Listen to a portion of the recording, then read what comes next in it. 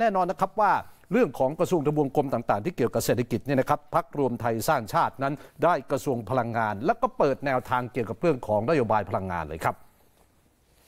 ท่านเดิมนะฮะ สุพัฒนพงศ์พันธ์มีชาวรองนายกรัฐมนตรีและรัฐมนตรีว่าการกระทรวงพลังงานในปัจจุบันซึ่งเป็นรักษาการเนี่ยนะครับ บอกว่าเรื่องราคาน้ำมันแพงนั้นยังมีช่องลดราคาได้ นักข่าวนะฮะบอกว่าบอกนักข่าวเนี่ยให้ไปดูนโยบายของพรรครวมไทยสร้างชาติที่ได้หาเสียงไว้ เมื่อไปคนดูก็พบว่าพรรครวมไทยสร้างชาตินั้น มีแนวคิดจะให้มีการนำเข้าน้ำมันสำเร็จรูปแบบเสรีฮะคือเปิดเสรีเลยจะทำให้ราคาน้ำมันในประเทศนั้นถูกลงได้ครับ ส่วนค่าไฟฟ้ามีการกำหนดราคาให้กับผู้มีรายได้น้อย หรือเกษตรกรนั้น ใช้ไฟในการดำเนินชีวิต หรือใช้ทำมาหากิน เพื่อแบ่งเบาภาระและลดต้นทุน โดยมีการคำนวณมาแล้วจะอยู่ที่ประมาณยูนิตละ 3 บาท 90 สตางค์และพร้อมร่วมมือกับหน่วยงานต่างๆ ที่เกี่ยวข้องในการทำตามที่ได้หาเสียงเอาไว้นะครับขณะเดียวกันก็จะผลักดันมาตรการ EV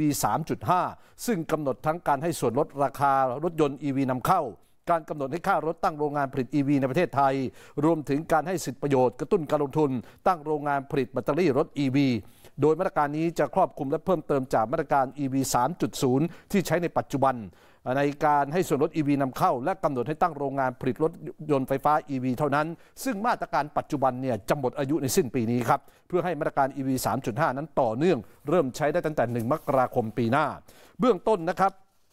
มาตรการกระตุ้นรถยนต์ EV ไฟฟ้าในประเทศไทย 3.5 นี่นะครับ รัฐบาลจะอุดหนุนผ่านส่วน ลดรถยนต์ EV นำเข้าประมาณ 1 0 0 0 0แบาทต่อคันครับ และกำหนดให้ค่ารถยนต์ต้องตั้งโรงงานผลิตรถไฟฟ้า EV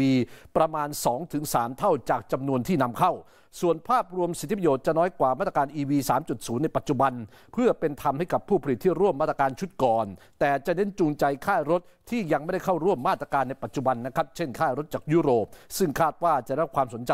เพราะปัจจุบันเนี่ยตลาดรถไฟฟ้าในประเทศไทยนั้นเติบโตสูงมาก ล่าสุดกรกฎาคมยอดจดทะเบียนใหม่ทะลุ 6,904 คัน เพิ่มขึ้นถึง 373%เมื่อเทียบกับช่วงเดียวกันในปีที่แล้ว และปีนี้คาดว่ารถยนต์พลังงานไฟฟ้าในไทยจะขายได้สูงถึง 60,000 คันนะครับ อย่างไรก็ตามนายสุพัฒนพงศ์ก็ปฏิเสธที่จะตอบคำถามว่าจะได้นั่งเก้าอี้รัฐมนตรีว่าการกระทรวงพลังงานอีกสมัยหนึ่งไหมระบุว่าตอนนี้ยังไม่มีใครมาเจรจาเลยนะฮะเขามีของเขาอยู่แล้วก็มาถึงเขานี่หมายถึงพักไหนยังไงนะครับ แต่ไม่ต้องกังวลแทนพักของผมก็แล้วกันนะครับ